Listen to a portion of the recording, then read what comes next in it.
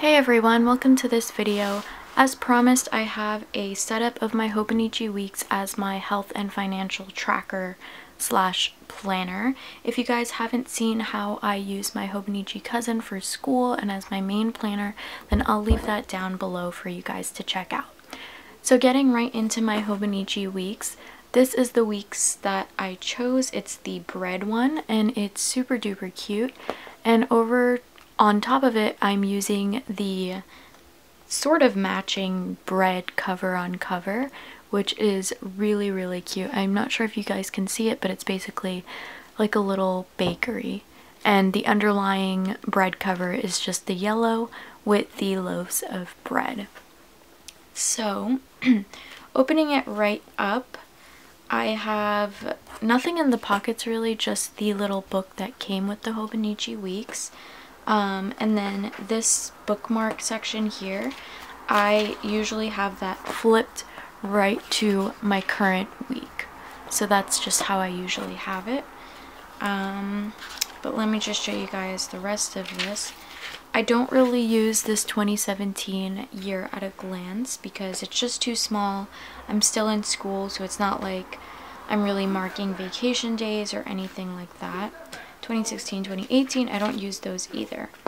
So this is the first kind of functional spread for me, but so far it's blank. But what I plan to use this for is for marking my menstrual cycle because um, that's just really important information that as women we're asked that every time we go to a doctor's appointment and sometimes it's hard to remember. I would just highlight the days out because I think these dates are just too small to really write anything.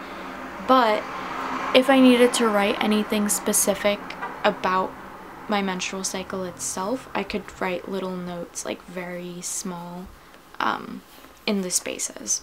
So that's what I plan to use that for. Next up is the month on two pages. So this section I'm also using as a health section, specifically um, putting in my doctor's appointments or, well, and slash or, um, putting in what was done that day or what I plan to get done that day.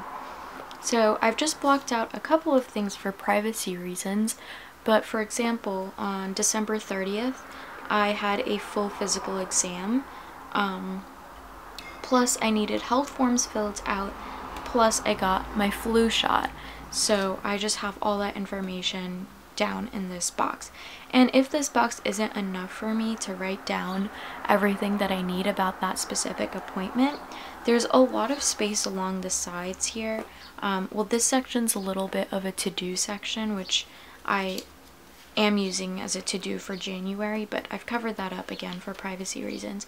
But these areas here, I think that's a lot of space to just mark down any other notes or reminders about specific appointments. But I haven't had to do that yet, so I don't think that should be a problem.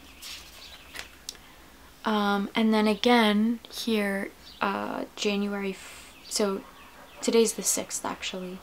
And yesterday, for example, I started my vitamin D supplement. So, you know, I can look back on this and see when I started it and like when I'm expected to finish taking the supplements and um yeah, and even like on the 4th I picked up my health health forms from the doctor's office so I also just marked that in there as well and again like I said down here I just have a couple of health related to-dos that I need to get done in January. So there is that. And that's what I plan to use the rest of these months for. Now moving on right to the weeks. So the first week that I used this planner was the week of December 19th to the 25th. And this is how I've been using it. Just writing down every single purchase of mine. Um, so a turkey sandwich, debt repayment because I owe somebody money so I'm just slowly paying that off. So how much I paid that day, um, McDonald's frappe, and then I put, I've, well, I haven't been too good with this, but most of the days I've been putting the total spent for the entire day. On some days, for example, like Thursday the 22nd, I have three numbers in here in the total section. And that's just because I was keeping track of different payment methods. So different cards, sort of. Um, and then the grand total spent for that day. Now, I had intended initially that I I had intended initially to highlight different expenditures so like all necessary spends or food spends would be green and kind of do it like that. But honestly realistically I don't think I have the time to do that every week. I didn't even have the time to do that during my week off so I don't really see myself doing that. However for things like this I definitely need to highlight because I mean if I think back on it I can remember which payment method or whatever I used for each of these numbers but if I needed to look at it quickly I would have I wouldn't know like just looking at it right now. I can't really remember which card was which total. So that is definitely something that I need to be mindful of for the future. So in this section um sorry I didn't really explain. I divided this page like each day into two. There is like a faint line. Here's a blank one. Um they're like these faint dots that would divide each day into three uh, squares. So what I've just done is um, marked off one of those boxes. So two thirds were for marking each expense. Um, and then the total spent would go in this box. And for these, I just used a Tombow dual-ended brush pen, which let me actually just show you guys. I keep them all in this toothpaste tube here as in the ones that I have. Um, and this is just, oh, this isn't the specific color though here. This is the specific color I used, number 922. And I really like it because it's nice and faint, but still um, shows up. Because with the pens, there is shadowing. Like here I was just kind of messing around with the layout and I could see the shadowing and it it slightly bothers me so I decided to use these and these are great for that. Um, and then, so after the total spent, I do have a little health section for my dailies. So I just, so here's a blank section again. There is a line here. And I went ahead and just redefined that line with the Tombow marker and just boxed it off actually for each day. Um, if you guys can see that. And for this section, it's just writing down anything health related. If I have a migraine, if I have an upset stomach, if, you know, whatever the case may be. If I'm vomiting, if I'm just not feeling well, if I'm feeling particularly down, or anything like that, that goes in here. Any notes that I feel relevant to my day to day will go in here. And you'll see oftentimes I don't have notes, but sometimes I do. And I just like to make note of that to see how things are going with me. And, you know, it's just, I think, important to keep track of. And I think that's just a first step in feeling better in all instances of um, not feeling well. Next up, in this section, I have made an energy and a sleep graph. Previously, I've had these in my bullet journal Okay, so previously I've had sleep and energy graphs in my bullet journal, which if you follow me on Instagram, then you would see that. But um, I have not really, I haven't made any YouTube videos about it actually. So here were my sleep and energy graphs in my bullet journal, but I haven't been using my bullet journal as much. Um, here we go again. I had a sleep graph there, sleep graph here. I stopped making the energy graphs, but um, yeah, so I went ahead and transferred that here just because I do think those are very much health related and I really like having that there and I didn't really have anything else to put in this section so I thought why not just move those onto here um, especially because again I'm not using my bullet journal regularly. And then down here I just did some deco, I guess, using the bread stamp that I got from Hobonichi. And I also just put in some washi, and this washi is specifically from Studio Calico. That was my first week, and I really enjoyed that. My next week, I followed the same exact format. Um, and I was able to mark in all my expenses. However, total spent, I started dropping that ball. So didn't put in my total spent here, which kind of, I mean, it doesn't bother me necessarily, but it would have been nice to have those. I can easily calculate those now, but um, I just wanted to honestly show you guys how I have been using my journal. I mean my planner. And again, uh, energy and sleep, and then here I just put a quotation to adventure is to find yourself whole. Thought it was a nice one for the new year. So now moving on to this week. So this week was sort of a fluke in the sense that I did not decorate, I did not pre-plan at all. Um, I was incredibly busy. School started for me this week and I realized I hadn't formatted this for myself, but I just went ahead and wrote it down anyway, just as it was. So I am learning to embrace the fact that I won't always be able to do this for myself and honestly that's okay as long as I push myself to hold myself accountable for my expenses and for my health um, that's really the main goal here. So if some weeks end up like this that is totally okay.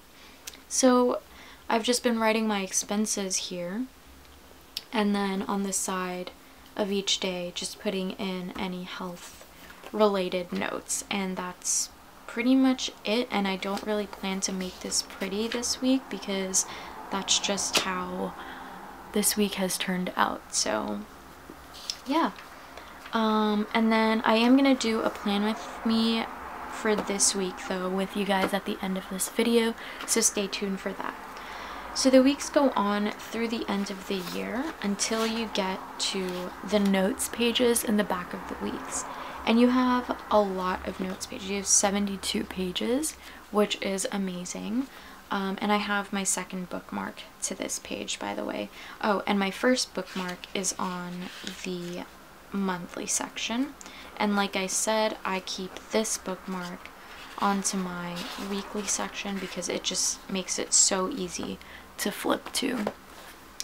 Okay, so for the notes pages, I don't think, I don't know if you guys can see it, because of the shadowing from this page but um, this is a little index so it says page and then subject I haven't filled this out yet the first thing I have here is the 52 week savings challenge and I plan to do this twice this year so um, I haven't actually crossed this out yet but what I would do is use a Tombow pen, or marker rather, or brush pen, whatever the case is.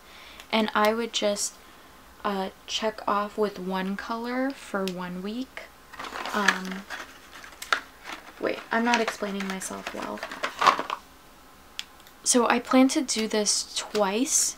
So I would use two colors for each round, but I'm doing the rounds at the same time. So for the first one, I'm going to cross out with, let's say, this pink one. Like if I put in $1 in that jar or $2 in that jar.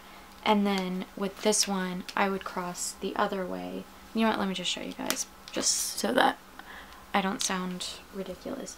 So let's say that I did the $1 one and then the $2 one. And then um, for the second one that I'm doing, I would just do this to mark that I've done it twice for that. So I should have $6 total for the first two weeks. Um, okay, so there is that. And I just doodled a money sign because I happen to have a lot of space left over there. Then for this section here, this is just a expense tracker, sort of like where is my money going? Where is most of my money going every single month? So I have the months across the top and then I have some expenses. This is really where most of my money goes and that's my apartment expenses, stationery, eating out, transportation, gifts, clothes, makeup. So at the end of each month, I plan to go through my weeklies and calculate how much I'm spending on each of these um, items just to see and then at the end I could calculate a yearly total for each of those items. Um, now this is I haven't done yet because it's only January 6th but I can see it being a problem in the sense that in the weekly section I'm not um, highlighting these or using a different color for each item.